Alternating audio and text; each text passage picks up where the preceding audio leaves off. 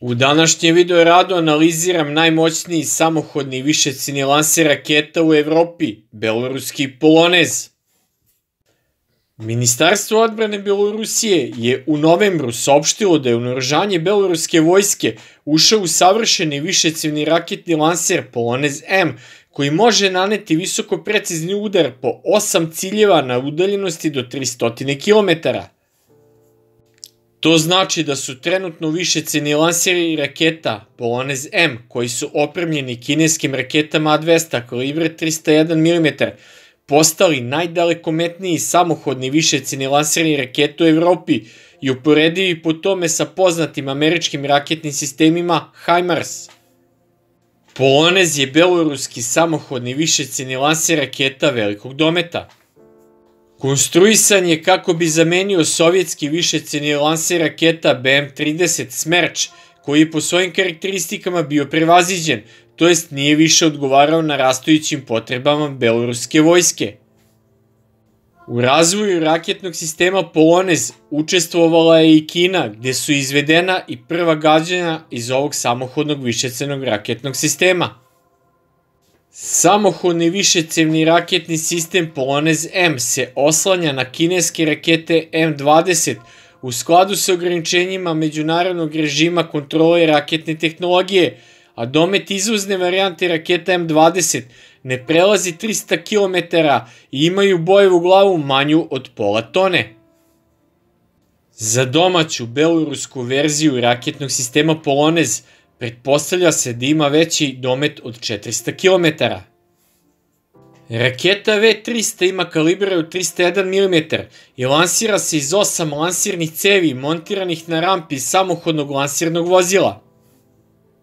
Minimalni domet ovih raketa je 50 km, dok je njihov maksimalni domet u izvoznoj varijanti 300 km. Maksimalna visina leta raketa je 42 km, a njena maksimalna brzina u letu je 5 maha, odnosno oko 6000 km na čas. Raketa u svom letu koristi GPS i inercijalnu navigaciju koji joj omogućavaju da ima kružnu grešku od oko 30 metara na cilju, što su karakteristike slične srpskoj raketi Jerina 1. Do danas nije obelodanjeno razvorno dejstvo ovih raketa, osim da je kalibar rakete 301 mm, što je za 99 mm manji kalibar rakete u odnosu na srpsku praljuju raketu Jerina 1. Ta karakteristika samohodni višecini lanse raketa Polonez svrstava u klasu američkog HIMARS-a, koji koristi rakete kalibra 220 mm i znači da može da uništi važne objekte kao što su komandna mesta, bunkire, komunikacione centre, skladište municije i brodove u lukama. Samohodno lansirno vozilo sa osam lansirnih cevi raketa postavljeno je na transportno vozilo MZKT 7930 Astrolog pogona točkova 8x8. Po izgledu podsjeća na ruski balistički raketni sistem Iskander M koji je montiran na isto vozilo. Proizvođač vozila je Minski zavod MZKT, poznat po proizvodnji teških kamiona za civilne i vojne upotrebe. Na nedavnoj javnoj prezentaciji raketni sistem Polonez M prikazana su vozila bez raketa M20 koje proizvodi Kina. Postoje dve vrste samohodnog višecenog raketnog sistema Polonez – Verzija V200 Polonez maksimalnog dometa raketa do 200 km i verzija V300 Polonez M maksimalnog dometa 300 km.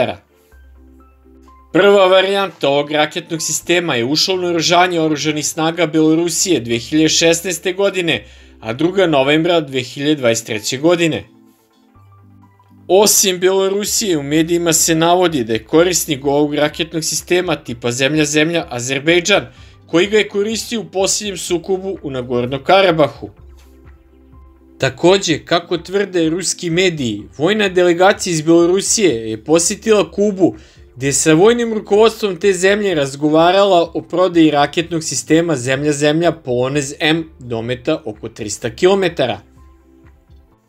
Ako dođe do realizacije posla prodaje ovog beloruskog raketnog sistema oruženim snagama Kube, onda bi one imale u dometu veliki deo Meksičkog zaliva i južni deo američke države Florida, gde se nalaze južna komanda vojske Sjedinje američkih država i više njihovih većih vojnih baza.